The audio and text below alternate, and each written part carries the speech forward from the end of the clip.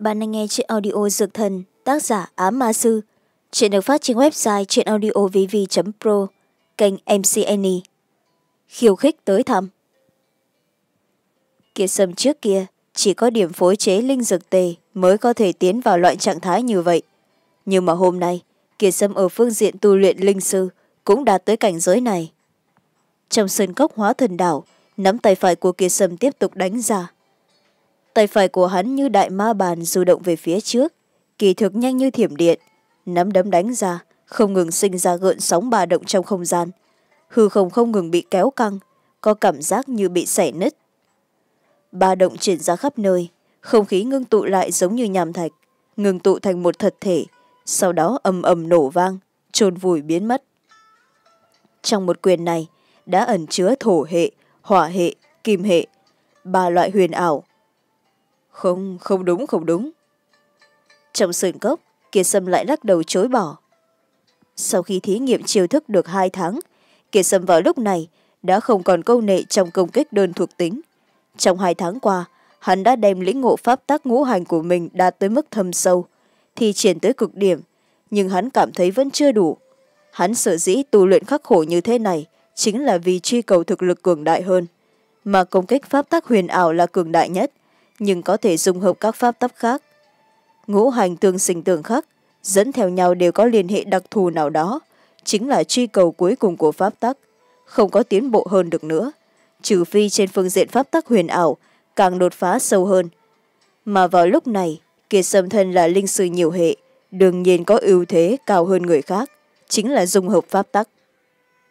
Mỗi một lần không nhận, chối bỏ, chính là lúc hắn đã quen thuộc, có chiêu thức mới hơn tiếp tục đột phá, phát hiện ra khuyết điểm của mình. Không nhận, chính là vì truy cầu uy lực rất cao, lần lượt phủ nhận và đột phá nó. Kiệt sâm hoàn toàn im lặng, thời điểm kiệt sâm đắm chìm trong tu luyện được ba tháng, trên bạo loạn linh hải lại có một đám đệ tử hạch tâm nữa xuất hiện. Gia mã sư huynh, tổ tư kim sư huynh, phủ đệ của kiệt sâm này ở hóa thần đạo trong bạo loạn linh hải, căn cứ và tìm hiểu của ta, trong tháng tư này sau này kiệt sâm giải đề ra mục ở hạch tâm điện, thì hắn sẽ không xuất hiện tại hạch tâm điện nữa đâu. Rất có thể đã ở trong phủ đệ của mình.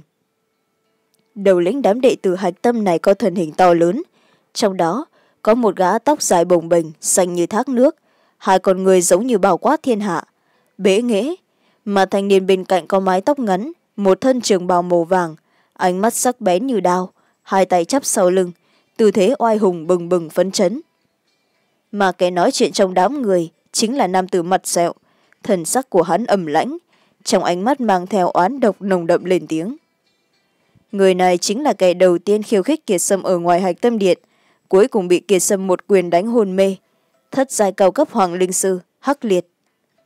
Nhưng hắc liệt lúc này không có vinh váo tự đắc như ở hạch tâm điện nữa, buông thư thái, không người xin chỉ thị, hiển nhiên cực kỳ cung kính và sợ hãi hai người trước mặt tại đây là bạo loạn linh hải sao? Ha cái bạo loạn linh hải này là phế địa trong thiên không thành linh lực vô cùng cuồng bạo.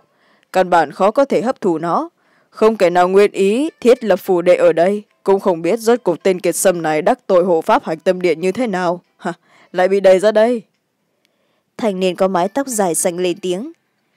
Nhưng mà hắn đánh người của chúng ta bị thương. Hắc liệt ngươi cứ yên tâm đi chúng ta sẽ để cho hắn quỳ trước mặt của ngươi mà phải cầu xin tha thứ.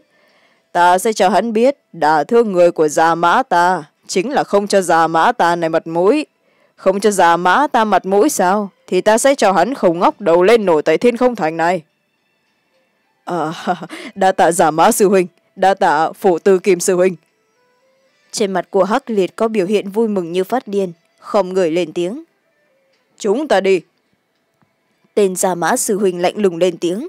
Một đám người lúc này tiến vào trong bạo loạn linh hải, hướng về hóa thần đạo lao nhanh như thiểm điện. Là đệ tử cũ trong hạch tâm điện, đám người này đương nhiên hiểu rõ về bạo loạn linh hải, cảm thụ được linh lực nguyên tố cuồng bạo, không ai kinh hãi, tùy thời cảnh giác nhìn qua xung quanh. Sau một thời gian ngắn, hóa thần đao của kiệt sâm hiện ra trước mặt bọn họ.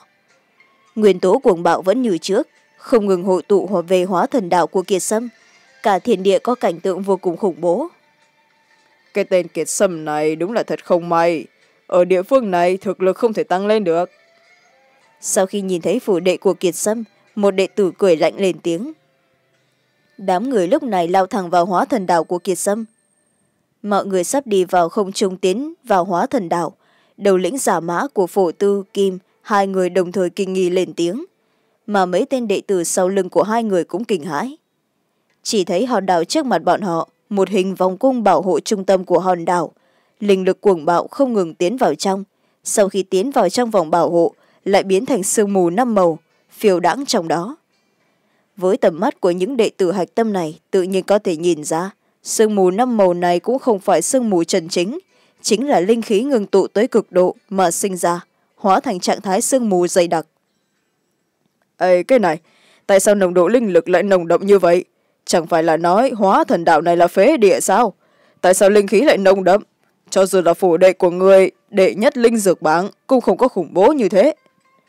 Một đệ tử hạch tâm nhịn không được lên tiếng. Cái này là trận pháp. Những linh khí cuồng bạo này được trận pháp lịch tinh lọc đi. Cho nên mới có hiệu quả như vậy đó. Đầu lĩnh giả mã cùng phổ tư kim hai người trên mặt mang theo kiệt kinh hãi khó tả. Lập tức hai người liếc nhau. Trong đôi mắt xuất hiện thần sắc cuồng hỉ. tốt tốt. Không nghĩ tới hành động lần này lại có thu hoạch ngoài ý muốn. Nam tử già má trong miệng nhịn không được cười ha hả. Hắc liệt hắc liệt. Ta lại phải khen thưởng ngươi. Chờ ta đem cái hóa thần đảo này đoạt đến tay ta sẽ nhượng cho ngươi tu luyện ở đây một thời gian ngắn. Âm thanh của già mã vang lên. Trong hai tròng mắt hắn xuất hiện hào quang sáng chói nhắm ngay phía trước đánh mạnh một quyền. Trong sơn cốc đang hãm sâu vào trong tu luyện kiệt sâm không ngừng thí nghiệm chiều thức. Nghe được tiếng nổ vang cực lớn, đột nhiên lúc này, cả sơn gốc bắt đầu lay động. Chuyện gì đã xảy ra? Kiệt sâm lâm vào trạng thái vòng ngã, bị âm thanh cực lớn này làm bừng tỉnh. Trong lòng của hắn lập tức hiện lên một lửa giận khó nhịn. Là ai? Là ai dám náo loạn tu luyện của ta? Trong hai mắt của hắn có thần quang bắn ra, thân thể của hắn phóng lên trời, nhìn thấy trong không trung hóa thần đảo còn nằm sáu tên đệ tử hạch tâm đang lơ lửng. Trên người của bọn chúng mang theo lực lượng mạnh mẽ, lạnh lùng nhìn qua kiệt sâm. Hết chương. Nhấn subscribe để theo dõi những chương tiếp theo. Bạn đang nghe chuyện audio dược thần, tác giả ám ma sư. Chuyện được phát trên website chuyện audio vv pro, kênh mc annie. Một quyền đánh bại. Giả mã sư huynh, giả mã sư huynh. Phủ tư kim sư huynh nữa, hắn chính là kiệt sâm nhìn thấy kiệt sâm, hắc liệt trong đám người lập tức kích động gầm thét lớn. Là ngươi? Nhìn qua khắc liệt, hai con mắt của kiệt sâm ngưng tụ, trong ánh mắt có một cỗ sát ý không thể nào ức chế được. Người chính là kiệt sâm. Đầu lĩnh già mã lạnh lùng cười cười. Nghe kỹ đây, ta tên là già mã, hắn tên là phụ tư kim. Người dám đánh bại thủ hạ của ta bị thương đấy không là cho chúng ta mặt mũi nào. Chúng ta đang rất tức giận. Vốn, ta đã chuẩn bị giày vò ngươi. Sau đó sẽ ném người vào trong bạo loạn linh hải cho cá ăn.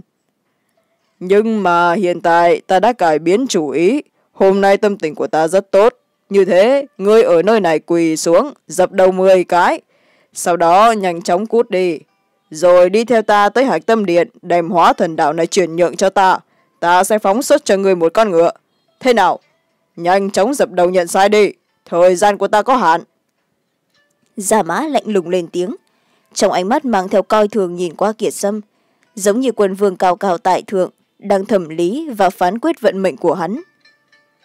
Nhanh chóng quỳ xuống dập đầu đi rồi sẽ tha cho người một mạng.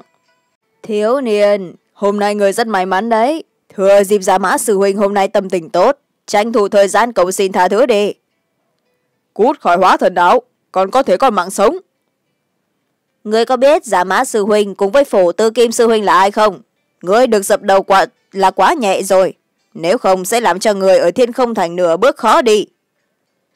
Kẻ thức thời mới là tuấn kiệt, không nên phản kháng vô vị.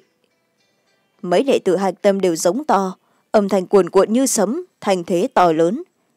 Nhưng người đều quan sát quen, tung hoành ở thạch tâm điện vốn lần này tới chỉ chuẩn bị tới đây giáo huấn kiệt sâm lại không nghĩ rằng phát hiện tuyệt thế bảo địa, cho nên trong nội tâm mừng rỡ như phát điên. Tốt, rất tốt. Thấy mặt mũi của đám người kia, kiệt sâm đã triệt để tức giận, hai mắt của hắn như đau, trong miệng liên tục nói ra mấy chữ tốt. Các người đã đảo loạn tu hành của ta, còn dám ở chỗ này hồ ngôn loạn ngữ? Các người thật là lớn mật, là ai cho các người lá gan? Các người dám cho rằng kiệt sâm ta là quả hồng mềm vừa vặn à? Kiệt sâm ta cũng muốn lập uy ở hạch tâm điện này. Các người đưa tới cửa, vừa vặn ta lấy ra tế cờ. Kiệt sâm lạnh lùng lên tiếng. Hắn vốn cho rằng mình đã đủ cản rỡ rồi, lại không nghĩ rằng đám người kia còn cản rỡ hơn. Lại còn dám đi vào phủ đệ của mình, quấy dày chính mình tu hành, còn bảo mình dập đầu nhận tội. Rời khỏi phủ đệ, đây chính là cường đạo trần chính cho nên sát ý trong nội tâm kiệt sâm dâng trào. Trong mấy ngày nay, kiệt sâm bế quan, không ngừng tu luyện tuyệt kỹ vì muốn đề cao thực lực. Nhưng mà thực lực cũng không phải là chỉ tu luyện sẽ ra, thực lực chân chính sẽ tăng lên trong chiến đấu. Không có gì làm người ta tăng thực lực nhanh hơn chiến đấu hết. Hôm nay, vừa vặn có người khiêu khích tới cửa, giống như buồn ngủ gặp chiếu manh, làm cho nội tâm kiệt sâm hưng phấn, muốn kiểm nghiệm xem thành quả mấy tháng này của mình nghe được kiệt sâm nói vậy kiệt sâm vốn phải quỳ xuống cầu xin thả thứ mới đúng làm cho tất cả mọi người sửng sốt. Bọn họ không nghĩ tới kiệt sâm đối mặt với đám người của mình lại như thế. Dưới tình huống có thêm giả mã cùng phổ tư kim hai vị sư huynh vẫn hùng hằng cản quấy như vậy trong nội tâm của bọn họ sững sờ. Lập tức tức giận trong nội tâm cũng dâng trào. Thằng tiểu tử kia rượu mời không uống lại muốn uống rượu phạt à? Đúng là không thức thời không hiểu quy củ được, nếu mà hắn muốn chết, chúng ta cũng đều thanh toán cho hắn. Cho hắn một con đường sống, hắn cũng không muốn. Quả thực là quá ngu. Hai vị sư huynh à chúng ta cứ ra tay chấn áp hắn luôn đi. Cho hắn biết, đắc tội với chúng ta sẽ có kết quả gì. Đây là là hắn muốn cho chúng ta biết sự lợi hại cơ mà. Nhưng mà mọi người ra tay thì đừng có quá hùng ác. Trong hạch tâm điện chúng ta không cho phép giết người đâu. Dày vào hắn thôi, thế là được rồi làm cho hắn không đi được nửa bước trong hạch tâm điện tự động rời khỏi đệ tử hạch tâm. Trong ánh mắt mấy tên đệ tử hạch tâm này xuất hiện thần sắc không kiên nhẫn đều xoa tay như muốn động thủ ngay. Tránh ra! Thời điểm mấy tên đệ tử hạch tâm muốn ra tay đầu lĩnh giả mã lên tiếng ánh mắt của hắn thầm trầm như nước. Số tiểu tử cho người con đường tốt mà người lại không muốn đi trong miệng hắn lạnh lùng lên tiếng. Lời còn chưa dứt, thân thể của hắn bành trướng, trong tay cầm một thanh linh trượng, mà ở đầu linh trượng có một khỏa linh tinh màu xanh cực lớn, tản mát ra sát khí linh lực khủng bố, làm cho mấy tên đệ tử hạc tâm thất dài hoàng linh sư xung quanh đều cảm thấy trận trận áp lực. Đây là một khỏa bát dài linh hạch, linh trượng từ tay của giả mã vừa ra, nhắm ngay chỗ của kiệt sâm đánh mạnh xuống.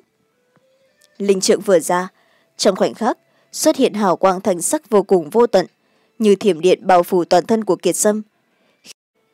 Khí tức linh lực mộc hệ khủng bố thiên thiên vạn vạn căn thành sắc hào quang phô thiên cái địa từ bốn phương tám hướng cuốn về phía kiệt sâm. Mộc hệ áo nghĩa thiên địa lao lung.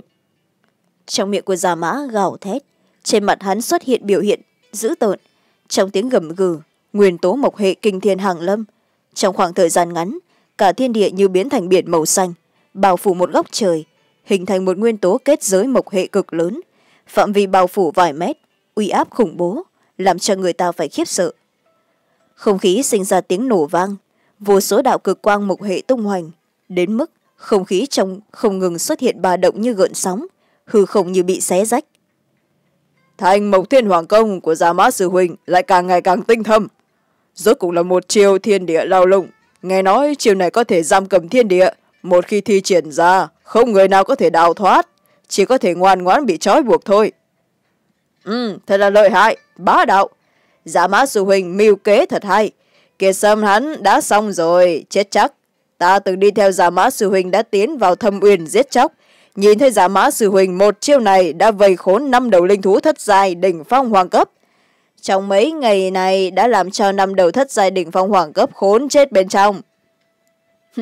Đúng thế. Giả mã sư huynh của chúng ta chính là bát giai đế cấp linh sự thanh mộc hoàng trượng trong tay của hắn chính là địa cấp trượng phẩm linh khí. Có độ uy năng rất lớn, đủ để quét ngang hạch tâm điện.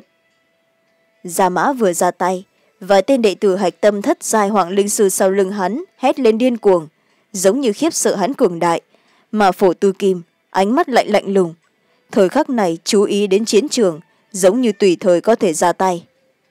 Ha ha ha ha ha xú tiểu tử thúc chủ chịu trói cho ta. Giả mã cười ha ha tiếng cười hắn tàn nhẫn cho dù hắn lúc trước biểu hiện khinh thị kiệt sâm nhưng mà chuyện kiệt sâm ngăn cản trước một kích của ngạ trạch lạp tư hắn biết rõ rành mạch trong nội tâm không dám tùy ý giả tay với xu thế lôi đỉnh vạn quân thi triển tuyệt kỹ kinh người của mình thề phải một kích phế bỏ kiệt sâm không để cho đối phương có nửa điểm cơ hội phản kích. Hết chương. Nhấn subscribe để theo dõi những chương tiếp theo. Bạn đang nghe chuyện audio dược thần, tác giả ám ma sư. Chuyện được phát trên website chuyện audio vv pro, kênh mc any một quyền đánh bại. Thành sắc quang mang đầy trời, phô thiên cái địa mà đến, đàn xen vào nhau, bao phủ kiệt sâm từ bốn phương tám hướng hùng nguy ập tới lập tức muốn trói chặt kiệp sân điều trùng tiểu kỹ cũng dám tranh sáng với trăng cái gì là thiên địa lao lung? Chỉ là cái giá gỗ mà thôi. Quả thực là buồn cười. Phá cho ta! Đúng lúc này kiệt sâm động thủ. Viên cầu kim sắc trong đầu của kiệt sâm vận chuyển nhanh chóng. Linh lực kim sắc trong cơ thể bộc phát mà trong đôi mắt có thần quang bắn ra động tác không có bất cứ hòa mỹ gì nhắm ngay giả mã, đánh một kích. Nắm tay phải của kiệt sâm mang theo kim quang sán lạn, một quyền như mặt trời bùng nổ, tạo phát ra hàng tỷ hào quang kìm sắc, muốn đem phiến không gian này bao phủ lại, nát bấy trong vô hình, hàng tỷ hào quang kìm sắc bắn ra. Đến mức, tiếng nổ của không khí chuyển ra khắp nơi. Giả mã phóng thích thành thế to lớn, nhưng lúc này bị xuyên phá như tờ giấy mỏng. Dưới oanh kích của kiệt sâm không ngừng vỡ vụn, nổ tung hóa thành vô hình. Trong tiếng nổ đầy trời kiệt sâm giống như một thần vương, ánh mắt của hắn lạnh lùng, chấp chướng cả bầu trời. Một kích phá vỡ thiên địa lao lung của giả mã, không có nửa phần do dự, lại đánh ra một quyền nữa. Nắm tay phải của kiệt sâm đánh ra, chỉ nghe ầm ầm từ không gian vang lên. Cánh tay phải vung vẩy, không gian chấn động kịch liệt. Quyền xuất như dao lòng xuất hải. Một quyền đánh ra nắm đấm của kiệt sâm xuất hiện vô số không gian ba động. Nếp uốn của không gian vặn vẹp trực tiếp truyền tới phía của giả mã. Âm thanh rung động tâm linh không gian ba động hình thành gấp khúc. Một lỗ thủng đen kịt chuyển ra xuyên thấu lỗ thủng có thể nhìn thấy không gian loạn lưu tán sát bừa bãi. Ngăn cho ta! Bị kiệt sâm một quyền phá vỡ tuyệt kỹ trong nội tâm của giả mã hoảng sợ vạn phần. Đối mặt với khe nứt không gian đánh tới trong miệng của hắn liên tục gào thét, cầm vạn mộc hoàng trượng trong tay ngăn cản. Một đạo hảo quang thành sắc từ vạn mộc trượng truyền ra, hình thành một tấm chắn cực lớn trước người của hắn. Khí tức mênh mông từ tấm chắn phát ra, mặt ngoài của tấm chắn, từng đạo linh phù cùng linh vân huyền ảo, tối nghĩa, phức tạp, không ngừng lưu chuyển, đại biểu pháp tắc mộc hệ, tập trung vào vùng trời này, lù lù bất động. Trong chốc lát vết nứt không gian cực lớn cùng tấm chắn thành sắc trùng trùng điệp điệp đụng vào nhau. Tấm chắn thành sắc không ngừng run rẩy. Từng đạo linh văn, linh phù ở bên ngoài không ngừng nổ bung. Biên giới xuất hiện ba động của không gian. Sau tấm chắn, trong miệng của giả mã gào thét, sắc mặt đỏ lên. Toàn thân hắn run rẩy. Linh khí mộc hệ trong cơ thể vào giờ khúc này, ở trong vạn mộc hoàng trượng, tiến vào tấm chắn, muốn ngăn cản công kích của kiệt sâm. chỉ bằng ngươi mà còn muốn ngăn cản công kích của ta. Quả thực là quá buồn cười rồi đấy. Gấp ba lần chiến lực, bạo cho ta. Kiệt sâm trợn mắt lên, hai con người có thần quang bắn ra ngoài, bước lên một bước, lại một quyền nữa đánh tới. Tiếng nổ điếc tai vang lên. Những đệ tử phiêu phù trên không trung chờ mắt nhìn thấy thần ảnh to lớn của kiệt sâm xông lên phía trước. Một quyền đập nện vào tấm trắng thành sắc thật giống như hình ảnh phóng đại vô số lần tấm chắn thành sắc không ngừng phát run. Từng vết nứt từ từ lan ra khắp tấm chắn đó lập tức phá tan. Người đây là chuyện gì? Vì sao thực lực của người lại mạnh như thế? Thân thể của giả mã bị đánh bay như đạn pháo. Trường bào thành sắc trên người cũng nổ tung. Trong các nơi trên thân thể có máu tươi bắn ra. Hai mắt chừng lớn như bóng đèn. Trong miệng phát ra âm thanh đau đớn. Trên mặt mang theo khiếp sợ và khó tin chuyện gì đã xảy ra? Chả có chuyện gì xảy ra hết. Chỉ vì thực lực của ta cao hơn ngươi. Trên mặt kiệt sâm mang theo nụ cười lạnh nói. Các người đã dám quấy giày tu luyện của ta. Vốn chỉ có cái chết mới triệt tiêu tội nghiệt của các người gây ra. Nhưng ta tính tình tốt. Niệm các ngươi là đồng môn, ta sẽ không giết các ngươi. Ta chỉ khiến các người sống không bằng chết, thu một chút đền bù trên người các ngươi. Linh trực trong tay của người có vẻ cũng không tệ ta rất hài lòng. Hiện tại lưu lại cho ta. Kiệt sâm cười lạnh liên tục, bàn tay duỗi ra, đón gió mà trướng năm ngón tay như năm đạo cầu vồng năm màu, nhắm ngay vạn mộc hoàng trượng trong tay của giả mã mà chụp tới. Kiệt sâm muốn cấu trúc kiểu linh tụ khí trận, nhất định phải thu thập chín khỏa linh hạch đế cấp, mà linh hạch trên linh trượng của giả mã là mộc hệ, vừa vặn thỏa mãn nhu cầu của hắn. Nếu tuyệt đối đối phương đã đưa tới cửa kiệt sâm từ chối thì bất kính quá. Đối mặt với công kích của kiệt sâm giả mã lúc này luôn phản kháng, nhưng dưới thực lực cường đại của hắn hắn chỉ có thể liên tục rút lui. Máu từ trong miệng phun ra, vạn mộc hoàng trượng trong tay của hắn bị đoạt đi. Rốt cuộc không giữ được, hóa thành một đạo thành sắc liều quang, bị kiệt sâm thu vào trong tay. Ánh mắt của giả mã bạo phát, cổ họng rung động, vũ khí bị đoạt, làm cho hắn cảm thấy sỉ nhục khôn cùng. không tệ không tệ. Linh thức của kiệt sâm hiện giờ đang bao phủ khỏa linh hạch bát dài đế cấp linh hạch trên vạn mộc hoàng trượng. Lập tức khẽ nhếch miệng cười cười. Sau đó đem vạn mộc hoàng trượng thu vào trong không gian giới chỉ. Rồi sau đó nhắm ngày giả mã chụp tới. Bây giờ người nằm ở một bên cho ta. Giả mã coi chừng. Nhìn thấy kiệt sâm ba quyền một chảo phá được tuyệt chiêu của giả mã sau đó đánh bay hắn đi đánh thành trọng thương. Huống chỉ còn thu lấy vũ khí của hắn, cho nên phổ tư kim ở một bên vừa giận, vừa sợ. Hôm nay nhìn thấy kiệt sâm thừa thắng truy kích, nhắm ngày giả mã mà xuất kích, cho nên phổ tư kim xúc như thế này đã thấy phát động công kích, một bước bước ra. Phổ tư kim trên không trung bước ra một bước, một cỗ khí tức ngập trời từ trên người của hắn phóng ra. Trên một hư ảnh cực lớn hiện ra sau lưng của hắn, tán phát từng đạo hào quang màu vàng đất hắn cất bước đi trong hư không. Một bước mấy chục thước, mỗi một bước hạ xuống đều có vết nứt hư không hiện ra. Toàn thân hắn tỏa ra sát khí lăng lệ ác liệt. Linh lực thổ hệ cuồng bạo từ trên người phóng ra, làm cho người ta phải sợ hãi khí tức trên người của hắn. Hắn sống thẳng lên trời. Trong lúc hắn đi tới, một thanh cự kiếm màu vàng đất có uy thế kinh người hiện ra trong tay của hắn, phóng khích uy áp mạnh mẽ. Trong miệng phổ tư kim gạo thét, nhắm ngay kiệt sầm chém tới chết đi. Hủy diệt thương khung. Thiên bằng địa liệt, trời xanh đình trệ. Phổ tư kim vừa chém ra một kiếm, linh lực màu vàng đất tung hoành. Một cỗ khí thế màu vàng đất phóng về phía của kiệt sâm, áp xuống. Trong tiếng rung động lắc lư, không khí cũng nổ vang, phát ra âm thanh đi đùng không dứt. Phổ tư kim đánh ra một chiêu này, thiên hồn địa ám. Sau uy thế còn mạnh hơn giả mã rất nhiều. Một đạo linh khí màu vàng đất áp xuống tên này vận dụng pháp tác tổ hệ đã đạt tới trình độ quá kinh người. Hết chương. Nhấn subscribe để theo dõi những chương tiếp theo. Bạn đang nghe chuyện audio dược thần, tác giả ám ma sư chuyện được phát trên website chuyện audio vv pro, kênh mc annie. Quét ngang tất cả. Tốt tốt. Ta vốn nghĩ sẽ tới thu thập người. Không nghĩ tới giờ người lại không chờ đợi được. Lại còn dám động thủ với ta quả thực không biết trời cao đất rộng. Vậy thì tốt. Ta sẽ thỏa mãn nguyện vọng của người pháp tắc mộc hệ, phá cho ta. Kiệt sâm vốn một lần hành động bắt lấy giả mã, nhưng không nghĩ tới mình một quyền đánh bay hắn. Thì phỉ, phổ tư kim ở bên cạnh đã ra tay. Trong nội tâm lúc này không khỏi giận dữ, trong miệng hắn gào thét liên tục. Nằm ngón tay hóa thành chảo quyền, ngăn trước người. Viên cầu mộc hệ trong đầu của kiệt sâm vận chuyển tới tốc độ kinh người một cỗ khí tức mộc hệ kinh người từ trong người của hắn phát tán ra. Xuất hiện hư ảnh một cây đại thụ che trời trên đầu của hắn. Linh lực mộc hệ tung hoành trên người kiệt sâm. Sau đó, tế bào trên người của hắn ma sát với nhau, chấn động. Một cỗ pháp tắc mộc hệ đại biểu tính mạng vĩnh hằng, vui sướng hướng quang vinh, vô hạn sinh cơ, xuất hiện xung quanh thân thể của hắn, sau đó ngừng tụ vào nắm đấm. Cho người nếm thử pháp tắc mộc hệ mà ta vừa lĩnh ngộ cái gì gọi là hủy diệt chi kiếm? Gà đất chó kiểng mà thôi. Bạo cho ta! Kiệt sâm cười lạnh, phất tay một cái, đánh ra một quyền có ẩn chứa pháp tắc mục hệ mà hắn lĩnh ngộ trên hóa thần đạo này suốt bốn tháng qua. Đây là lực lượng thuộc về hắn.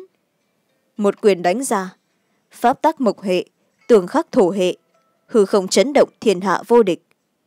Trong bạo cực lớn, mang theo tất cả hư không, nắm tay phải của kiệt sâm đánh ra khí tức thanh sắc linh lực mộc hệ thành sắc không ngừng bao trùm lấy linh lực thổ hệ trên không trung, giống như rễ cây cắm vào đất, hấp thu chất dinh dưỡng bên trong.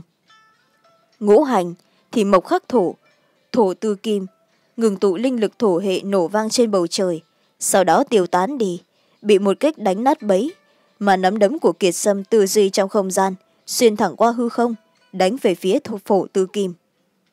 Không không tốt phổ tư kim liên tiếp lùi về phía sau. Trên mặt xuất hiện thần sắc hãi hùng. Tuy kiệt sâm trước đó ba quyền đánh bày giả mã, nhưng phổ tư kim đối với lực lượng của kiệt sâm cũng không có cảm thụ trực quan. Nhưng một quyền này của hắn hiện giờ đánh tan chiêu số khủng bố của hắn. Dư uy không giảm, nhắm ngày hắn bao phủ tới. Trong nội tâm phổ tư kim tràn ngập hoảng sợ. Thân thể của hắn bay lên, trong hai mắt xuất hiện hai đạo thần mang. Đối mặt với công kích của kiệt sâm một cỗ lực lượng kinh người thức tỉnh trong người của hắn. Hắn phất tay. Một đạo la bàn cực lớn xuất hiện không ngừng lưu chuyển. Kiệt sâm một quyền đánh vào la bàn này. Linh lực thủ hệ tung hoành thoáng cái đã hồn phệ toàn bộ công kích của kiệt sâm đại địa luân bàn thiết địa duy nhất đời đời kiếp kiếp phai mờ thương khung. Phổ tư kiêm điên cuồng hét lên hai tay liên lục chuyển động đạo đạo linh khí ẩn chứa pháp tắc thủ hệ không ngừng lưu chuyển qua ngón tay của hắn. Là bản cực lớn kia, linh vân ẩn chứa pháp tắc thủ hệ trên đó lại ngày càng sáng lên. Tản mát ra uy áp khiến người ta phải rung động tâm thần. Đây đây là đại địa luân bàn. Phổ tư kim sư huỳnh đã luyện đến đại địa chuyển công đại pháp tới mức đại địa luân bàn đã phải hiện ra. Quả nhiên không hổ là thiên chi kiêu tử. Thiền phú bậc này quá là kinh người. tốt rồi tốt rồi. Chúng ta có thể được cứu. Chúng ta có thể được cứu rồi.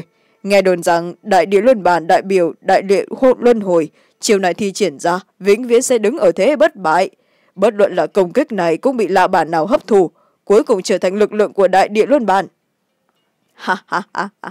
đây chính là hư ảnh của đại địa luân bản cũng có thể nhận diện ra, nhưng cũng không có khó gì cả. Diệt sát cái tên kiệt sầm này dư sai rồi tên kiệt sâm này cũng dám kích thương giả mã sư huynh. Đúng là đáng chết. Phổ tư kim sư huynh để chết hắn đi. Đại địa luân bàn vừa ra vốn là bởi vì kiệt sâm đại phát thần uy ba quyền đánh bay giả mã hai tay quyền bức lui phổ tư kim. Cho nên mấy tên đệ tử hạch tâm thất giai hoàng linh sư này vô cùng hoảng sợ toàn thân đã run rẩy. Thời điểm này trong ánh mắt có hào quang vui sướng hiện ra tiếp tục cản rỡ giống to ánh mắt nhìn qua kiệt sâm mang theo sát ý. Cái gì là đại địa luân bàn? Vĩnh viễn đứng ở thế bất bại. Vô dụng. Trước mắt kiệt sâm ta, trừ thần phục, cái gì cũng vô dụng. Kiệt sâm đứng ngạo nghễ trên không trung, cười lạnh liên tục. Công kích huyền ảo của hắn, lần đầu thi triển ra, còn chưa thuần thục. Nhưng hiện giờ đại chiến với giả mã, còn có phổ tư kim một phen, đã khiến hắn sử dụng càng thêm thuần thục hơn các loại công kích huyền ảo, thiên biến, vạn hóa đều bắt đầu dùng hợp hợp chất, làm hắn cảm ngộ với pháp tắc ngũ hành, có thêm sự lĩnh ngộ mới. Lời của kiệt sâm vừa ra, hắc sắc trọng kiếm sau lưng của hắn xuất hiện. Trên mặt của kiệt sâm mang theo nụ cười lãnh khốc. Thoáng chốc, một đạo hào quang năm màu hiện ra trên người của kiệt sâm. Tất cả hào quang của ngũ hành đều biểu hiện, quấn quanh hắc sắc trọng kiếm trong tay của kiệt sâm. Năm đi thay đổi liên tục, thiên địa hóa nhất tương sinh tương khắc, sừng bá thế gian, phá cho ta. Trong miệng kiệt sầm gạo thét, hắc sắc trọng kiếm dưới sự bao bọc của pháp tắc ngũ hành, tiếng giống to vạn vọng, nhắm ngay đại địa luân bản trước người của phổ tư kim chém tới. Hắc sắc trọng kiếm trong tay của kiệt sâm thoáng chốc hóa thành một con rồng năm màu, gầm thét, cùng đại địa luân bàn trước người của phổ tư kim va chạm với nhau. Hào quang năm màu tung hoành, cắt đứt hết tất cả trong ánh mắt kinh hãi của tất cả mọi người, hào quang năm màu đó một lần nữa hành động xé rách đại địa luân bàn. Do vô số pháp tắc của đại địa, đặc biệt là huyền ảo cùng linh dực thổ hệ kinh người ngưng tụ lại thành đại địa luân bàn, đã triệt để sụp đổ, tiêu tán trong hư không, hóa thành vô inh. Vô tức. Đại địa luân bàn bị nghiền nát, thân thể của phổ tư kim chấn động mạnh. Áo giáp linh lực thổ hệ bên ngoài thân thể trở nên nát bấy thân thể lui vài chục bước trong không trung. Miệng phun máu tươi. Trong ánh mắt mang theo kinh hãi khó che giấu. Nghe đồn một khi thi triển đại địa luân bàn đã ở thế bất bại, trước mặt công kích huyền ảo của ngũ hành, yếu ớt căn bản không chịu nổi một kích. Cái gì vậy? Đây là thực lực gì? Vì cái gì mà lại khủng bố như thế? Đại địa luân bàn đều đã bị hắn một kiếm bổ liệt. Tại sao lại xảy ra chuyện này? Tình kiệt sâm này rất cũng là yêu nghiệt gì thế này? Vì sao ta lại cảm thấy tất cả các thuộc tính của ngũ hành, chẳng lẽ hắn chính là ngũ lệ linh sư sao? Không không có khả năng. Tên kẻ sâm này làm sao mà cường đại như thế? Lúc trước còn dừng dừng đắc ý, đám đệ tử hạch tâm này cho rằng mình đã nắm chắc tất cả trong tay. Lúc này miệng phát ra tiếng thét kinh hãi. Nhưng kiệt sâm chỉ đứng từ xa cười lạnh, sát cơ lạnh như băng của hắn nhìn qua phổ tư kim. Hết chương nhấn subscribe để theo dõi những chương tiếp theo. Bạn đang nghe chuyện audio dược thần tác giả ám ma sư. Chuyện được phát trên website chuyện audio vv pro kênh mc annie. Cướp đoạt tất cả. Thái nhạc chi kiếm hóa thân đại nhạc trấn thủ thiên địa thủ hộ thân thể của ta. Phổ tư kim vào lúc này đã biết rõ mình đang lâm vào nguy hiểm cực độ. Hắn nghĩ thế nào cũng không ngờ tới thực lực của kiệt sâm lại khủng bố như vậy. Đối với nguy cơ trước mắt, hắn rốt cuộc cũng phát hiện trong phong thái yêu nghiệt của mình đã không còn nữa. Trong miệng gào thét, hoàng sắc cự kiếm trong tay cũng bị ném đi. Cự kiếm chấn động, giống như ngọn núi không ngừng bành trướng, xuyên phá trời xanh, hóa thần là một tòa đại nhạc, tán mát ra hào quang trói lọi. Cả thân kiếm có thần quang lưu chuyển, các loại hư ảnh linh thú thổ hệ gạo thét, sinh liệt, tản mát ra uy thế kinh thiên một đạo sơn nhạc lớn khoảng mười trượng ngăn giữa kiệt sâm cùng phổ tư kim hai người, tản mát ra khí tức khủng bố. Đây là cái gì? Phổ tư kim ném cử kiếm làm cái gì? Phổ tư kim sư huỳnh còn không biết chúng ta nữa sao? Thực là lợi hại, ta trước kia còn cho rằng kiếm trong tay của phổ tư kim sư huỳnh chỉ là linh khí bình thường thôi, không nghĩ nó là có biến hóa. Mấy đệ tử hạch tâm khác đều khiếp sợ, bọn họ hoàn toàn biết rõ sinh tử của mình hoàn toàn quyết định bởi một cuộc chiến giữa phổ kim tư sư huynh. Và kiệt sâm nhìn thấy chiến đấu còn có chỗ trống xoay sở, tất cả đều kinh hỉ. Tốt lắm! Ở bên kia, trên mặt của kiệt sâm cũng hiện ra thần sắc kinh hỉ. Dùng ánh mắt của hắn cũng nhận ra cự kiếm trong tay của phổ tư kim bất phàm. Lúc này, hắn nhè rằng cười nói các người đã quấy rầy ta tu hành, mỗi một người đều không ai may mắn thoát khỏi ta muốn tu tổn thất. Thanh cự kiếm này của ngươi cũng không tệ. Hiện tại ta sẽ thù hết. Kiệt sâm nhìn thấy cự kiếm của phổ tư kim uy thế như vậy, trên mặt chẳng những không có chút vẻ sợ hãi, ngược lại hưng phấn gào lên, giống như không xem đối phương ra cái gì. Người đi chết đi! Đối diện, trong miệng của phổ tư kim gào thét. Tay chắp trước ngực, dùng sức chém xuống.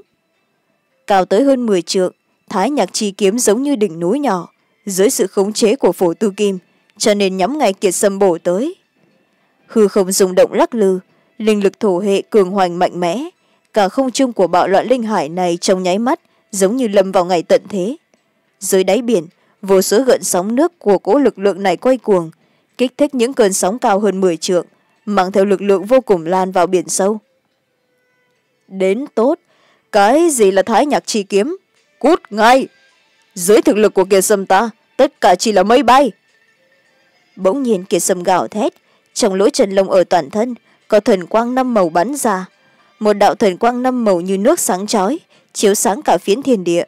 Một cỗ ủy áp khó giấu từ trên người của hắn lan ra bao phủ tất cả mọi người. Đây là lực lượng gì? Vì sao thân thể của hắn lại run rẩy một cách không kiềm chế được? Tên kiệt sâm này thực sự là nhân vật mới sao? Không phải không phải mấy tên đệ tử hạch tâm thất giai hoàng linh sư dưới cố uy áp này của kiệt sâm, một người nào không run rẩy, trong lòng đều xuất hiện sợ hãi cực độ, căn bản không cách nào khống chế. Gấp ba lần chiến lực, pháp tắc ngũ hành, phá cho ta. Kiệt sâm ngửa mặt lên trời thét dài, ngũ hành linh lực trong cơ thể dưới sự vận chuyển của linh thần quyết, lập tức đạt tới tình trạng mạnh nhất. Hai con người của hắn như điện, xuất hiện hào quang vạn trượng thần như thái của ma viên nhảy lên không trung. Trong tay cầm hắc sắc trọng kiếm xuất kích lần nữa. Thái nhạc chi kiếm biến thành đỉnh núi. Trong ánh mắt sợ hãi của tất cả mọi người, thoáng cái bị quét bay ra ngoài. Mà phủ tư kim khống chế thái nhạc chi kiếm, trực tiếp bị đánh bại. Áo bào trên người rách nát, hóa thành mảnh vỡ bay xuống. Trong miệng phun máu tươi, nhuộm đỏ cả bầu trời. Thái nhạc chi kiếm bị kiệt sâm một kích đánh bay, mất đi khống chế, không ngừng run rẩy phát ra tiếng kêu rền rỉ, sau đó hóa thành bản thể nhỏ nhắn. Năm ngón tay của kiệt sâm mở ra. Ngũ hành nguyên tố trong không khí ngưng tụ lại, hình thành một bàn tay ngũ sắc to lớn, thoáng cái đã bắt lấy thái nhạc chi kiếm vào trong tay. Kiệt sâm đứng ngạo nghễ trên bầu trời, một cỗ khí tức vô hình bộc phát, làm cho mỗi người đều phải thối lui. Vốn trước đó kiệt sâm chỉ là thất giai trung cấp hoàng linh sư, không thi triển diệt thần sát quyết cường đại nhất thực lực cũng chỉ sàng sàng với giả mã cùng với phổ tư kim hai người này. Bởi vì giả mã cùng phổ tư kim là thiên tài cấp bậc yêu nghiệt, tuy không bằng với xích quang đồng ngạ, trạch lạp tư, nhưng không kém nhiều. Kiệt sâm tại linh dược thành này đánh chết mặt nhĩ đặc la, thực lực kém không nhiều lắm, nhưng phổ tư kim còn mạnh hơn mặt nhĩ đặc la một chút. Kiệt sâm lúc trước cùng với mặt nhĩ đặc la quyết đấu, nhưng chiến đấu trên lôi đài rất lâu, cuối cùng thi triển gấp năm lần chiến lực mới hơn được đôi chút. Hôm nay đối kháng hai người này quá là nhẹ nhàng rồi. Nhưng sau khi đánh bại mặt nhĩ đặc là, kiệt sâm được năng lượng xích long tinh tầng bảy cải tiến, thì triển diệt thần sát quyết đã tăng lên gấp bảy lần chiến lực. Càng mấu chốt khi gia nhập hạch tâm điện, kiệt sâm tìm hiểu pháp tắc tại hóa thần đạo suốt bảy tháng liền. Giữa cô cũng hiểu rõ bản thân cần cái gì nữa, đem tất cả pháp tắc huyền ảo dung hợp lại với nhau, sáng tạo ra, tạo thành pháp tắc chiến kỹ đặc biệt thực lực biến hóa trong lòng trời lở đất. Xa xa đã áp đảo mạt nhĩ đặc la, giả mã và phổ tư kim là ba yêu nghiệt. Các ngươi đã quấy rầy ta tu hành, tội ác của các ngươi ngập trời, nhưng ta sẽ không giết. Niềm tình các ngươi là đồng môn, các ngươi nhanh chóng đầu hàng đi, quỳ xuống. Sau đó dâng bảo vật của các ngươi lên với tư cách là bồi thường, ta có thể tha cho các ngươi một mạng. Trên bầu trời, kia sâm lạnh lùng ngạo nghễ trong miệng chậm rãi nói ra, mắt nhìn qua giả mã, phủ tư kim và đám đệ tử hạch tâm phía sau, nở nụ cười ầm lãnh. Một bên khác giả mã cùng phủ tư kim hai người quần áo tả tơi, toàn thân máu tươi, thân thể vô cùng chật vật, mà kể cả hắc liệt và bốn tên đệ tử hạch tâm khác, sợ tới mức toàn thân run rẩy, trong ánh mắt hiện ra hào quang sợ hãi. Đáng giận đáng giận! Kiệt sâm, người muốn chúng ta đầu hàng sao? Phải quỳ sao? Ta nhổ vào. Hôm nay cho dù ta chết chúng ta cũng không khuất phục dưới người. Trong ánh mắt của già mã xuất hiện hào quang oán độc. Phổ tư kim chúng ta cùng nhau phục dụng tuyệt hoàng dược tề. Ta cũng không tin là sau khi chúng ta phục dụng dược tề và liên thủ còn không phải đối thủ của hắn. Nhanh lên! Già mã tức giận trong miệng quát lớn lập tức trong tay của hắn liền xuất hiện một bình linh dược tề có khí tức mạnh mẽ. Mà một bên phổ tư kim nghe giả mã quát lớn trong tay phải cũng xuất hiện một bình linh dược tề khác, rồi sau đó nhanh như thiểm điện rót vào trong miệng. Hết chương, nhấn subscribe để theo dõi những chương tiếp theo. Bạn đang nghe chuyện audio dược thần, tác giả ám ma sư. Chuyện được phát trên website chuyện audio vv pro, kênh mc annie. Cướp đoạt tất cả. Muốn chết! Sau khi nhìn thấy động tác của đối phương kiệt sâm giận tím mặt thần là kẻ khai thác kỹ thuật lưu linh dược học như hắn, đã sớm thời thời khắc khắc chú ý động tác của đối phương. Thời điểm hai người này vừa xuất linh dược tề ra, kiệt sâm đã động. Hắn mạnh mẽ tiến lên một bước, tay nhanh như thiểm điện, xâm nhập vào không trung, uy áp khủng bố, phủ xuống. Bản thân hai người bị trọng thương làm sao ngăn cản công kích của kiệt sâm được? Ngược lại giống như một luồn gió mạnh quét lá phong. Một tay đã bắt được giả mã cùng phổ tư kim thời điểm giả mã cùng phổ tư kim muốn rót linh dược vào miệng nhưng còn kém một chút kiệt sâm đã bắt lấy.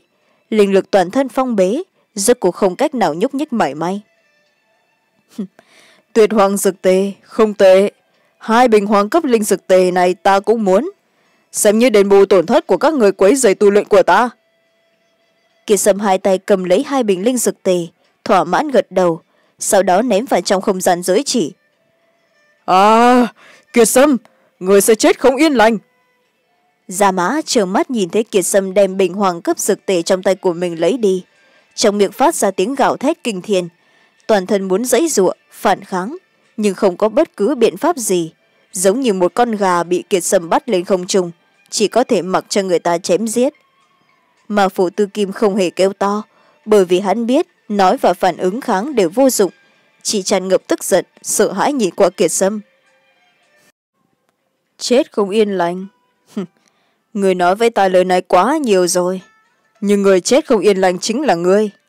Nhưng các người cứ yên tâm, ta nói rồi, không giết các người là sẽ không giết các người nhưng hành động của hai người đã khiến ta không hài lòng. Ta sẽ không cho các người chết không yên lành, nhưng cũng không muốn hai người được sống tốt. Kiệt sâm tàn khốc cười cười, sau đó dùng thêm lực, thoáng cái bắt lấy cổ của giả mã cùng cổ của phổ tư kim hai người hai cố ngũ hành linh lực trong tay của kiệt sâm phụt ra, phân biệt tiến vào trong thân thể của giả mã cùng phổ tư kim hai người. Giả mã cùng phổ tư kim lập tức phát ra tiếng kêu thảm thiết thê lương. Lỗ chân lồng của hai người đều có máu tươi bắn ra, thân thể nhịn không được co rúm lại. Ngay cả đại tiểu tiện cũng không thể khống chế. Một cỗ chất lỏng tanh hôi của hai người rơi vào bạo loạn linh hải, vô cùng buồn nôn linh lực của kiệt sâm lập tức đem kinh mạch trong cơ thể của già mã cùng phổ tư kim chấn vỡ. Trong khoảnh khắc, hai người này lịu sơ như cọng mì, hai mắt im ắng, trong miệng có bọt mép phun ra. Chấn vỡ kinh mạch, chẳng khác gì muốn lấy đi mạng nhỏ của hắn. Tuy về sau có thể trị liệu, có thể đền bù, nhưng là ít nhất cũng nằm giường trị liệu một năm nửa năm. Tương lai cho dù trị hết, đối với tu luyện sau này cũng có ảnh hưởng rất lớn. Cách đó không xa bọn người hắc liệt thấy một màn như vậy, sợ tới mức toàn thân run rẩy, trong ánh mắt mang theo hoảng sợ, nhưng không có người nào dám thoát đi. Bởi vì bọn họ biết rõ, ngay cả giả mã, phổ tư kim là hai người bát giải đế cấp đế linh sư cũng bị trả đạp tàn nhẫn. Với thực lực của bọn họ, căn bản không có khả năng đào thoát từ tay của kiệt sâm. Kiệt sâm lúc trước cái thế vô song, bá đạo và hùng phong, thủ đoạn tàn nhẫn. Giờ khắc này, trong lòng của bọn họ giống như ma thần làm cho bọn họ không dám có nửa điểm phản kháng. Trên bầu trời kiệt sâm tiện tay đem giả mã cùng phổ tư kim hai người như chó chết, ném vào trên hóa thần đảo. Ánh mắt nhìn qua đám đệ tử hạch tâm còn lại. Như thế nào? Chẳng lẽ các người không nghe lời ta nói lúc trước à? Đem thứ tốt nhất trên người đem ra đây. Lúc trước các người không động thủ, ta là người nhân từ. Nhưng tội chết có thể miễn, tội sống khó tha. Chỉ cần lấy đồ vật trên người cho ta thỏa mãn ta có thể cân nhắc ra tay nhẹ một chút. Kiệt sâm lạnh lùng nói ra âm thanh rất bình tĩnh không có nửa điểm tức giận. Có thì chỉ là thẩm lý và phán quyết trừng phạt. Thẩm lý và phán quyết những người vi phạm ý chí của hắn trừng phạt những người dám có gan khiêu chiến. À, kiệt sâm sư huynh không có liên quan tới ta là là ta bị ép tới đây. Ta tên là hắc liệt ta là hắc liệt đầu chủng ta tới kiệt sâm sư huynh cứ chấn thiên hạ bá tuyệt vô song. Thiên hạ không có người ngăn cản chúng ta làm sao dám đi khiêu chiến? Đúng đúng đúng đúng đều là tại tên cái hắc liệt này. Nếu như không phải là tài hắn thì chúng ta làm sao xen vào chuyện này? Đám đệ tử hạch tâm đều giống to ánh mắt âm lãnh nhìn qua hắc liệt. Các người! Hắc liệt vừa sợ vừa giận lập tức hùng hằng nhìn qua đám người này. Hắn lên trời linh lực trong cơ thể vận chuyển tới mức lớn nhất muốn bỏ chạy thẳng về thiên không thành, lập tức đã bay được vài dặm. Muốn chạy trốn sao? Trên bầu trời, kiệt sâm cười lạnh thành tiếng, bàn tay lớn nắm ngay hắc liệt mà chụp tới. Hắc liệt đang bay thật xa bị kiệt sâm đập rơi. Hắc liệt giống như con chim sẻ mà kiệt sâm là thợ săn. Hắc liệt rơi vào trong bạo loạn linh hải. Năm ngón tay của kiệt sâm mở rộng, thoáng cái đã bắt được hắc liệt. Chỉ thấy toàn thân của hắn đầy máu, thân thể run run trong miệng đầy bọt máu hai mắt trợn trắng sừng cốt toàn thân bị một cái vỗ lúc trước bị đánh nát thành một đống lớn. Bộ dáng thể thảm của hắc liệt làm cho đám đệ tử hạch tâm còn lại nuốt nước bọt trong nội tâm phát run. Sư huynh à sư huynh xin tha mạng. Sư huynh sư huynh là thần công cái thế về sau ta sẽ là người của sư huynh. Kiệt sâm sư huynh kiệt sâm sư huynh ta ta nơi này có một lọ thất dài hoàng cấp linh dược tề đây là là chân tảng của ta hiện tại, ta hiến cho sư huynh. Đám đệ tử hạch tâm đều hoảng sợ kêu lên, khóc giống đầy nước mắt, tràn ngập hối hận. Một tên đệ tử hiểu chuyện trong đó, lần đầu đem một lọ hoàng cấp linh sực tề đưa cho kiệt sâm. Mấy người khác cũng lĩnh ngộ, vội vàng lấy bảo vật trên người đưa ra cho kiệt sâm. Kiệt sâm tiếp nhận đồ vật của mấy người này, trên mặt lộ ra thần sắc thỏa mãn. Trong đó có hai bình thất giai hoàng cấp linh dược tề, chỉ có một đệ tử lấy ra một cây tài liệu thất giai hứ kiệt sâm nhíu mày. Kiệt kiệt sâm sư huynh à trên người của ta chỉ có một cây tài liệu thất giai thôi. Đệ tử kia sợ tới mức hồn phi phách tán toàn thân run rẩy thiếu chút nữa bị dọa đến tiểu ra quần. Ngay cả một lọ thất giai hoàng cấp linh dược tề đều không có. Thế mà người cũng xứng là đệ tử hạch tâm mà thực sự là phế vật. Kiệt sâm hừ lạnh. À đúng đúng đúng đúng đúng. Kiệt sâm đại sư à, đúng là giáo huấn rất đúng là đúng đúng đúng. Ta là phế vật phế vật. Đệ tử kia thiếu chút nữa đã khóc giống. Rất tốt. Kiệt sâm thu mấy món này vào trong không gian giới chỉ rồi sau đó lạnh nhạt nhìn qua ba người nói. Ta nói rồi tội chết có thể miễn tội sống khó tha. Các người nên ngoan ngoãn thụ hình đi. Sư huynh xin tha mạng. Mấy tên đệ tử hạch tâm này kêu lên nhưng kiệt sâm không đổi sắc nhóm ngày ba người mà đánh ra ba quyền. Hết chương. Nhấn subscribe để theo dõi những chương tiếp theo. Bạn đang nghe chuyện audio dược thần, tác giả ám ma sư. Chuyện được phát trên website chuyện audio vv pro, kênh mc annie. Chấn nhiếp hạnh tâm điện. Ba tiếng oanh minh vang lên. Ba bóng người rơi vào trong bạo loạn linh hải. Mỗi tên đệ tử hạch tâm phân biệt ăn một quyền của kiệt sâm tất cả giống như chó chết bay xuống biển trong miệng phun máu tươi đầy trời, toàn thân không ngừng run rẩy cùng run bắn, sau đó hôn mê, chìm vào trong bạo loạn linh hải. Một kích này của kiệt sâm, xương cốt trên người của ba người bọn họ đã đứt gãy rất nhiều. Các nơi trên người có miệng vết thương vô cùng khủng bố. Người thì đáng sợ, nhưng kỳ thực vẫn chỉ nằm trên giường chữa trị hai tháng là khỏi, so với hắc liệt còn tốt hơn rất nhiều. Về phần giá mã cùng phổ tim từ hai người, phải nói là vết thương quá nhẹ kỳ sâm mở năm ngón tay ra, một cố hấp lực cường đại phóng thích ra ngoài, lập tức đem ba người kia hút lên không trung. Đồng thời kiệt sâm cũng hút lấy giả mã cùng phổ tư kim hai người ở trên hóa thần đảo lên. Vừa dùng lực, hai người cũng bị kiệt sâm cầm trong tay. Kiệt sâm mặt không biểu tình, mang theo sáu người này, lập tức bay về thiên không thành. Thiên không thành, hạch tâm điện. Bây giờ là giờ ngọ, là thời khắc an nhàn nhất trong ngày rất nhiều đệ tử nhàn tâm, nhàn dối đều đưa, ưa thích vào giờ này tụ tập tại hạch tâm điện, quan sát nhiệm vụ mới của mỗi ngày, sau đó nghe ngóng tin tức từ nhau. Cho dù bên trong điện hay bên ngoài quảng trường đều có không ít đệ tử đang trao đổi với nhau. Này các người có nghe thấy không? Ngạ trạch lập tư sư huynh rốt cục vào một tháng trước đã tù luyện đến phần thiên kiểm thể quyết tới đại thành. Nghe đồn hắn là phủ đệ của hắn, nằm ở nhật phong. Thời điểm đại thành, thiên địa biến sắc cả ngọn núi đều bị đại hỏa bao phủ kéo dài không thôi. Ừ, đúng thế. Ta cũng đã nghe nói. Hơn nữa nghe nói ngà trạch lạp tư sư huynh cũng muốn trùng kích đến bát dài trung cấp đế linh sư. Vốn ngà trạch lạp tư sư huynh đã là cường nhân lên linh dược bảng chỉ sợ lần này thực lực còn mạnh hơn. Ờ đúng thế. Ngà trạch lạp tư sư huynh đúng là một thiên tài. Ta nhớ được hai trăm năm trước đã từng có người trùng kích đến bát giai trung cấp đế linh sư nhưng mà thất bại lần này, hậu tích bạc phát, xác suất thành công lại lớn. Đến lúc đó, một khi trở thành bát giai trung cấp đế linh sư, nhất định sẽ bỗng nhiên có người nổi tiếng. Linh dược sư tháp hạch tâm điện chúng ta đã vào nửa năm sau. Có lẽ cử hành thi đấu linh dược bảng sẽ sắp xếp lại. Hơn nữa lại còn cạnh tranh thảm khiết hơn trước. Bởi vì thiên tài trước hai mươi danh sẽ đại biểu cho linh dược sư tháp cùng linh sư tháp chúng ta. Bốn đại đế quốc cùng với ba thành niên tài cùng với nhau thí luyện tất cả mọi người phải tranh mọi suất trong tay. Nhưng mà trước hai mươi, đây là thứ tự không dễ dàng đâu. Sắp xếp phía trên, không ai không phải là nhân vật tiếng tầm lừng lẫy. Tất cả đều là yêu nghiệt kinh thiên, không phải là chúng ta có thể sánh vai được. Đúng, nhưng mà ngài trạch lập từ siêu hình là nhân vật như thế nào? Hôm nay cũng chỉ miễn cưỡng đứng trên lĩnh dực bảng thôi. Xếp hạng bốn mươi một chỉ kém chín tên đã rớt ra ngoài rồi hôm nay tuy luyện phần thiên kiếm thể quyết đã đại thành nhưng là muốn trùng kích trước hai mươi thì lại rất khó đó. Đương nhiên nếu như hắn có thể nửa năm nay tấn cấp bát giải trùng cấp đế linh sư vậy thì có nắm chắc nhất định rồi.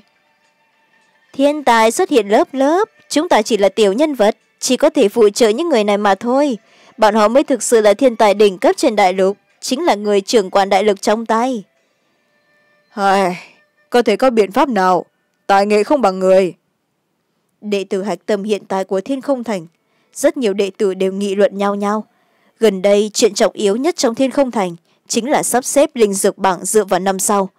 Bởi vì điều này đặt đến đại biểu cho danh ngạch linh dược sư tháp tham gia thí luyện trên đại lục. Các đệ tử đều dốc sức mà làm. Những đệ tử không thể tiến vào được linh dược bảng thì cố gắng hơn. Mà một ít cao thủ ở trên linh dược bảng rồi thì muốn tiến thêm một bước thậm chí còn có tranh thủ cơ hội bước vào danh ngạch hai mươi.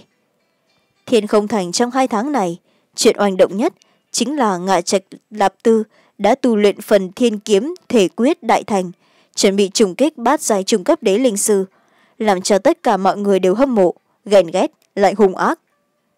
Tại thiên không thành, bát giải cấp thấp đế linh sư là nhân vật cao tầng trung kiên của linh dược sử tháp, bình thường đều là bài danh lên linh dược bảng, nhưng thứ tự không cao nhưng bát giai trung cấp đế linh sư chính là yêu nghiệt trần chính, có thể trùng kích trước hai mươi. Mà bát giai nhĩ tát trạch chính là bát giai trung cấp đế linh sư, nhưng hắn tồn tại cao nhất trong bát giai trung cấp đế linh sư, bài danh thứ tám trên linh dược bảng, có thể nói là nghịch thiên. Đúng đó nói đến ngả trạch lạp tư sư huynh, các người biết rõ vài ngày trước, vừa mới gia nhập hạch tâm điện, nhân vật mới, tên là kiệt sâm, có xung đột với ngả tạch lạp tư sư huynh hiện tại thì hắn như thế nào rồi? Tên kiệt sâm này ai mà biết được. Rất lâu không nghe tin tức của hắn rồi. Đoán chừng không biết là trốn ở đâu đó tu luyện. Nhưng mà tiểu tử này đúng là quá ngu xuẩn. Ngày đầu tiên thành đệ tử hạch tâm đi đưa tin là đắc tội với ngả trạch lạp tư sư huynh. Đoán chừng về sau cũng không có kết cục tốt.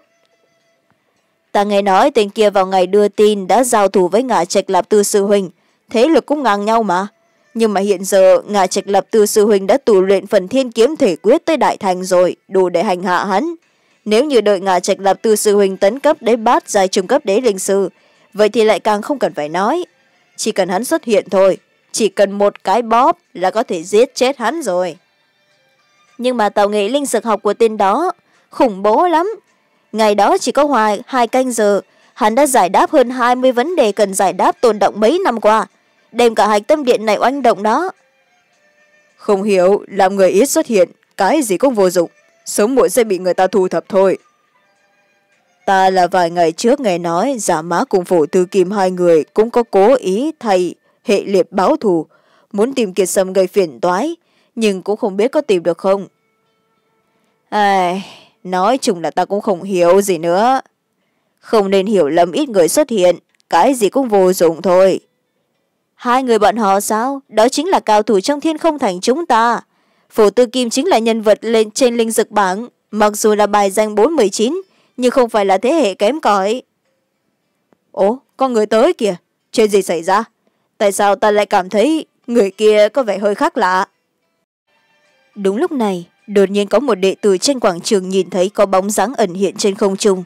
Trong miệng lúc này phát ra tiếng kinh hồ cho ta xem, cho ta xem à, thực tế là có mấy người. Người nào là ai?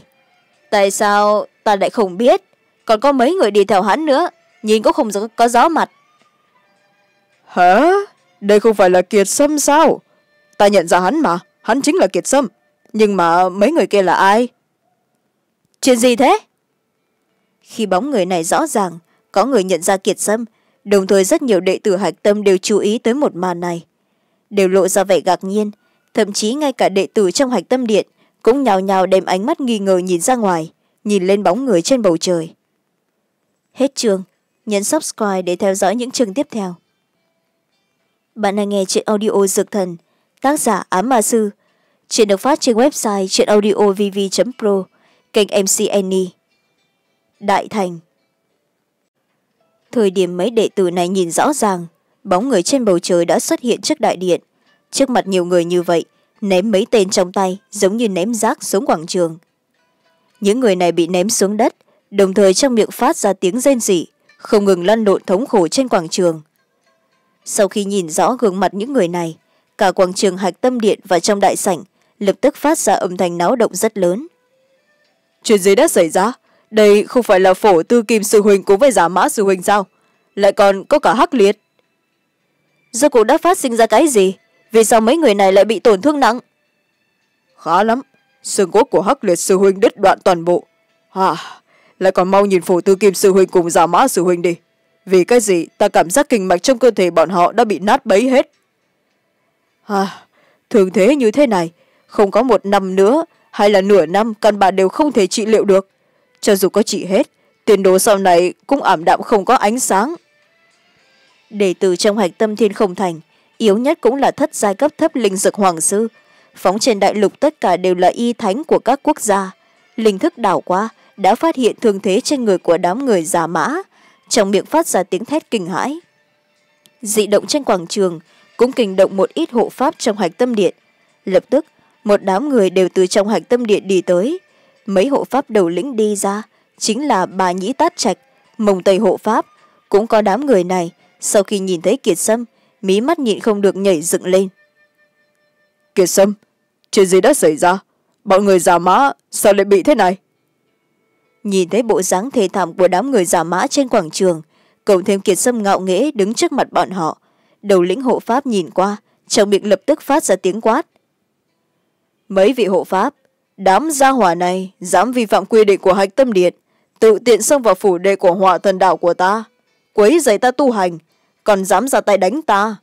Xem kỷ luật như không cho nên ta đã bắt giữ chúng. Trước quảng trường của hạch tâm điện kiệt sâm lạnh nhạt đứng thẳng trên mặt hắn bình tĩnh trong ánh mắt mang theo cố uy thế khó giấu được trong miệng đạm mạc lên tiếng. Cái gì? Đám phủ tư kim cùng gia mã sư huynh đã bị kiệt sâm đánh trọng thương.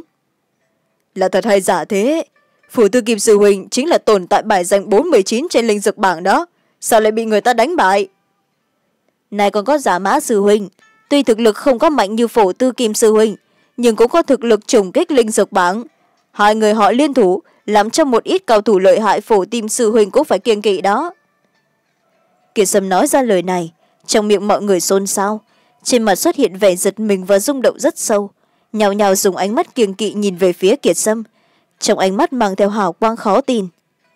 Nhưng có thể trở thành đệ tử hạch tâm, ở bên ngoài tất cả đều là kiêu hùng sau giật mình một lúc là thu liễm kích động trong nội tâm. Nhưng ánh mắt nhìn về phía kiệt sâm vẫn tràn ngập sợ hãi như lúc trước. Phổ phổ tư kim cùng giả mã lại bị người đánh thành như thế. Trước hạch tâm điện trên mặt hộ pháp cũng xuất hiện vẻ giật mình. Không sai. Kiệt sâm lạnh lùng gật đầu. Mấy vị hộ pháp hạch tâm điện của chúng ta có quy định phủ đệ của đệ tử hạch tâm chính là cấm địa của người khác bất luận là kẻ nào dưới tình huống không được phép của chủ nhân mà lại xông vào làm điều sai trái, không thể tự tiện tiến vào, lại càng không cần nói tới chuyện ra tay. Mà phổ tư kim cùng giả mã lại không chỉ tiến vào hóa thần đảo quấy dày ta tu luyện, mà lại còn dám dùng linh lực công kích phủ đệ của ta, công thiên làm trái quy củ của hạch tâm điện. Hiện tại, ta đã bắt giữ được đám người này, giao cho mấy vị hộ pháp xử lý. Thân thể của kiệt sâm thẳng tắp, bình tĩnh lên tiếng trái trái với quy củ và giao cho chúng ta xử lý sao đây là lời nói một phía của ngươi. Ngươi có chứng cớ gì không? Nhìn thấy giả mã cùng phổ tư kim hai người toàn thân máu tươi bộ dạng giống như chó chết nằm dưới đất những hộ pháp này không biết nên làm sao cho đúng. Chứng cớ? Kiệt sâm cười. Lời của kiệt sâm ta nói chính là chứng cớ. Hơn nữa mấy vị hộ pháp cũng có thể hỏi thăm đám người kia trong đó có mấy người được ta cảm hóa đó. Đều là đại triệt đại ngộ. Ta tin tưởng, bọn họ nhất định sẽ đem trần tướng của sự việc này nói cho các vị hộ pháp nghe. Kiệt sâm nói ra câu này, ánh mắt nhìn vào đám người đang nằm trên đất. Ờ đúng đúng đúng đúng, thưa bối lạc hộ pháp. Hôm nay, hắc liệt sư huynh đầu độc giả mã cùng với phủ tư kim hai vị sư huynh, trái với quỷ củ của hạch tâm điện, cùng đi đến hóa thần đạo để chuẩn bị trả thù kiệt sâm sư huynh kết quả là kiệt sâm sư huynh đã cảm hóa chúng ta. Ờ, chúng ta đã biết sai rồi. Về sau chúng ta nhất định sẽ sửa chữa. Là một đệ tử hạch tâm văn minh cần thú quy củ và và và tôn trọng thiên không thành.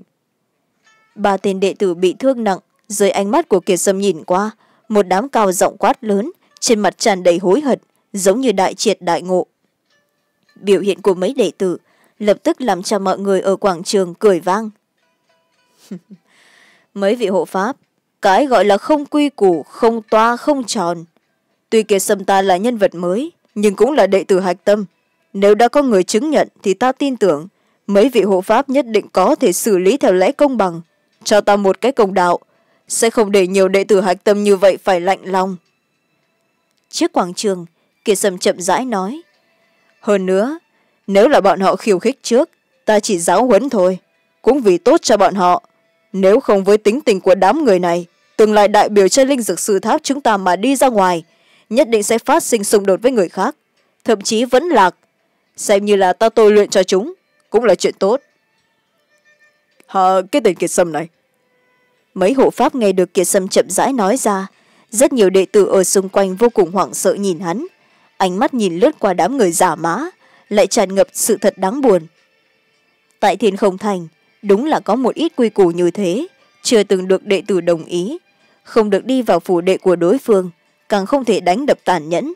Nhưng quy củ này chỉ là quy củ của hạch tâm điện mà thôi. Thoạt nhìn thì đúng như thế, nhưng bình thường không ai tuân thủ hết. Hạch tâm điện là địa phương cường giả vi tôn. Nắm đấm lớn chính là đạo lý. Trên thế giới này, ở bất cứ địa phương nào, quy củ chỉ dùng để ước thúc kẻ yếu, mà tất cả quy củ trước mặt thực lực tuyệt đối cũng chỉ là phủ vân bọn người già mã đi tìm kiệt sâm phiền toái không việc gì. Chỉ cần có thể đánh thắng kiệt sâm, cái gì cũng dễ nói. Cho dù là hộ pháp hỏi tới, cũng có thể nói là đệ tử luận ban chỉ cần không giết hoặc phế đối phương, hạch tâm điện sẽ nhắm một mắt, mở một mắt. Hết chương. Nhấn subscribe để theo dõi những chương tiếp theo.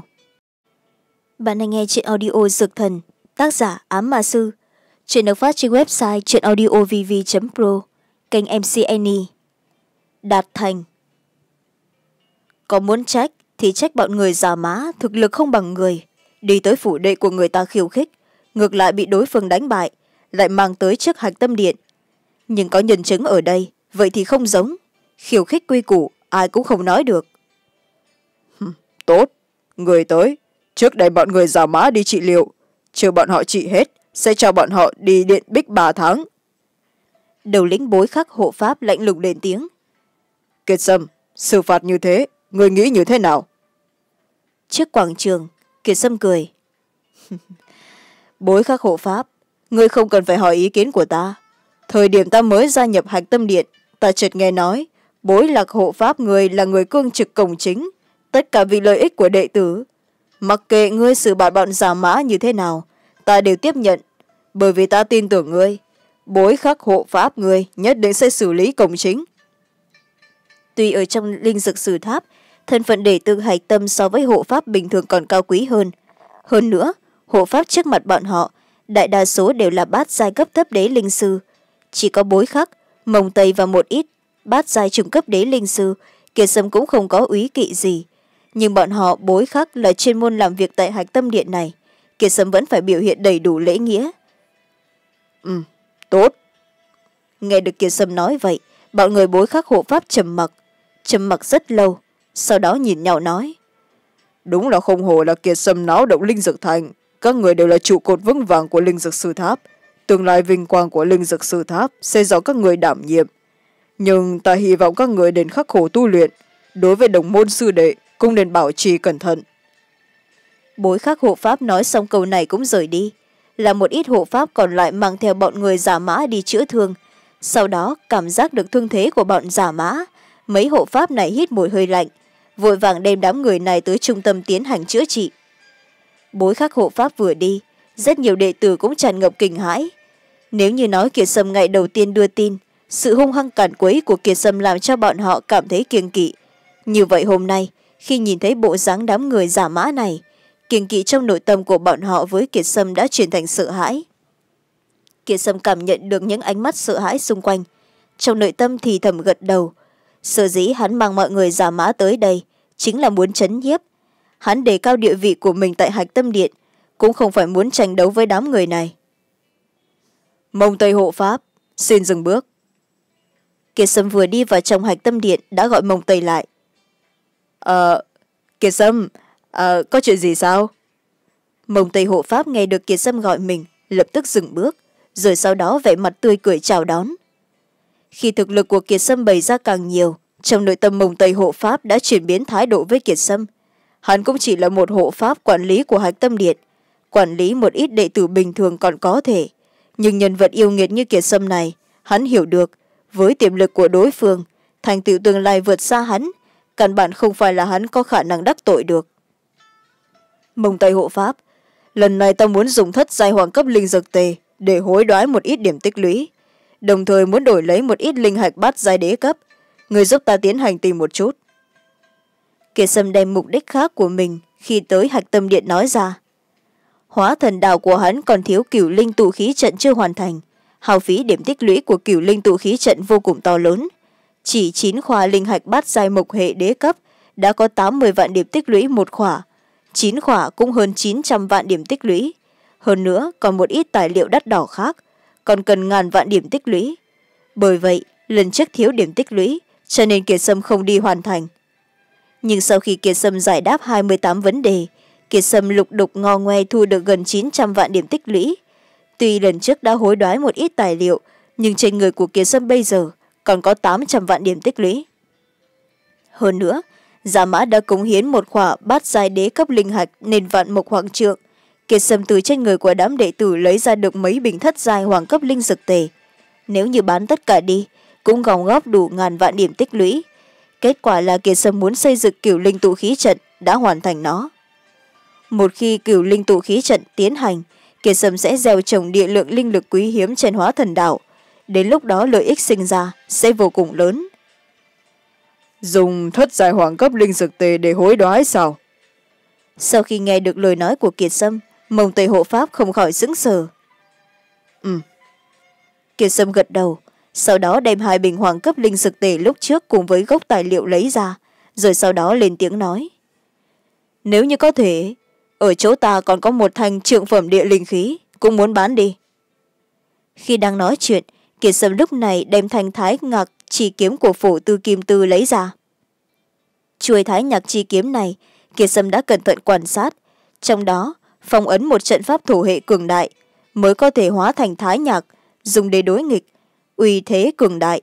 Nhưng đối với kiệt sâm giờ mà nói, công dụng của nó không lớn. Nếu như có thể, kiệt sâm không cần dùng tới. Dù sao kiểu linh tụ khí trận phải tốn hao gần ngàn vạn điểm tích lũy, đồng thời bên trong phải bồi một ít linh dược quý hiếm, cũng tốn hao của kiệt sâm đại lượng điểm tích lũy mua sắm. Thanh cự kiếm này, đây không phải là nhạc trì kiếm của phổ kim tư sao? Nhìn thấy thanh cự kiếm trong tay của kiệt sâm, mông tây hộ pháp thoáng cái há hốc mồm. Đúng đúng nó là của thái nhạc chỉ kiếm, nhưng hiện giờ không phải là của phổ tư kim, bởi vì tự tiện xông vào hóa thần đạo của ta, cho nên phổ tư kim đã đem thái nhạc chi kiếm này tặng cho ta, với tư cách là đền bù tổn thất. Kiệt sâm lạnh nhạt lên tiếng. Hả? Sao? Tặng cho người với tư cách là đền bù tổn thất? Ta đã thấy người đoạt lấy thì đúng hơn đó. Kiệt sâm người cũng quá hùng ác.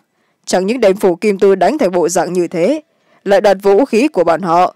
Chỉ sợ hiện tại bọn người giả má còn có ý thức sẽ hối hận thối ruột đó. Trong nội tâm mông tây hộ pháp nói, cái chán xuất hiện mồ hôi lạnh. Hắn cũng không phải là ngu ngốc. Vũ khí đối với bất cứ linh sư nào mà nói, đều là tính mạng thứ hai. Nào có linh sư nào đem vũ khí của mình làm bồi thường? Tự nhiên có thể đoán ra kiệt sâm cường ngạnh đoạt từ trong tay của người ta. Nhưng hắn cũng chỉ sững sờ, sau một lát khôi phục lại tinh thần, cũng biểu lộ nghiêm túc lên. Kiệt sâm nếu như người cần một ít linh hạch và tài liệu bình thường, ta ngược lại có thể mang tới. Đến khu hối đoái trực tiếp đổi là được. Chẳng qua người muốn hối đoái mấy bình thất dài hoàng cấp linh dược tề, cùng với thành thái nhạc chỉ kiếm, ta ngược lại đề nghị người nên đi tụ bảo các bán ra. Hết chương nhấn subscribe để theo dõi những chương tiếp theo.